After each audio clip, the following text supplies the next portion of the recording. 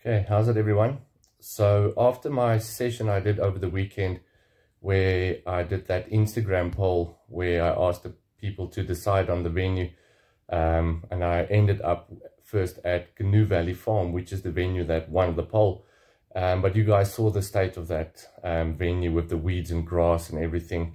Um, but in the video I mentioned that I would go and look for the footage that I have um, for when I started fishing there so I found the footage. Um, it's not the best quality. It's a bit old. Some of it I had to download um, from Instagram as well. So yeah, um, so excuse the quality of the footage, but you can still pretty much see what you have to see. So the first few clips are of when I started fishing there. Um, the first two sessions I blanked completely, still had to figure out what's going on and so on and how to fish it with the weed and yeah eventually i started fishing in the margin um, and that's where my love for margin fishing started. So yeah but in the first few clips um, you can see a koi that swims by um, you can see my bait and everything in the in the margin and then with a catfish and this one specific koi coming in and circling and trying to eat and so on. So yeah um, you can actually see one as well where it tried to take the hook bait but yeah then it got it basically scared or whatever you may call it and it swam off. Um, so when I started fishing there in the margins, um, I was still very, very new to specimen angling. And yeah, I used a, a pop-up on a Ronnie rig. Um, but yeah, soon after that, I spoke to a few guys and so on, and they advised me to change to a bottom bait. Also, where my love for bottom baits came from. Um, yeah, but you can see in this videos, in these clips, um, how clear the water is. And that's the one thing that I love about Gnu Valley you can actually sit there and see how the carp takes takes your bait. So yeah, um, so in the first few clips, it's basically the fish just circling it, um, and then watch them, watch these clips, and then I'll get back to you on the rest of the clips.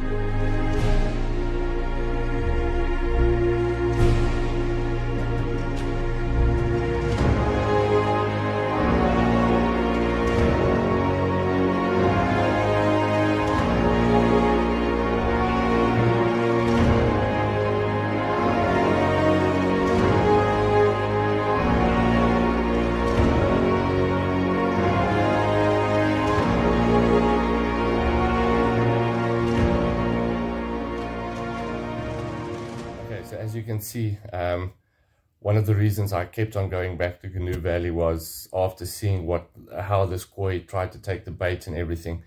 So yeah, on my, uh, I think it was on my third or fourth session that I went back, um, I used the same tactics, but I changed from a pop-up to a bottom bait uh, with a boilie, uh, just a single boilie, no snowman presentation or anything.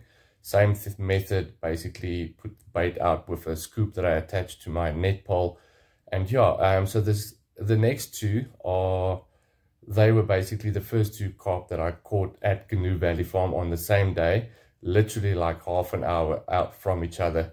And which was awesome was with both of them, I could actually see them take my bait. I remember when that first carp took, I literally almost fell out of my chair. My sandals were everywhere. My wife had quite a laugh at me for rushing down to to get my to get to my rod and and reel it in.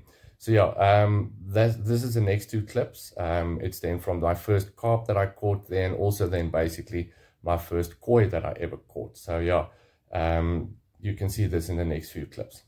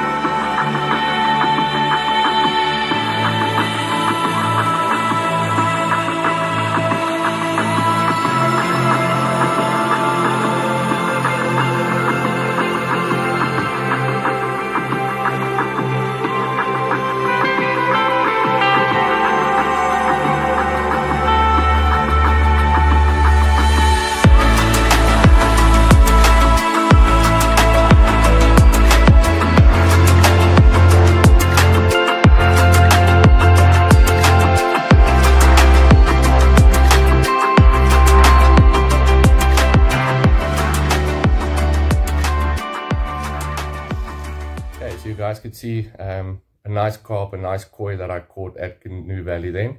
Um, nice dark colors on that carp and then obviously the red koi. Both of them weighed in at just over 6 kgs.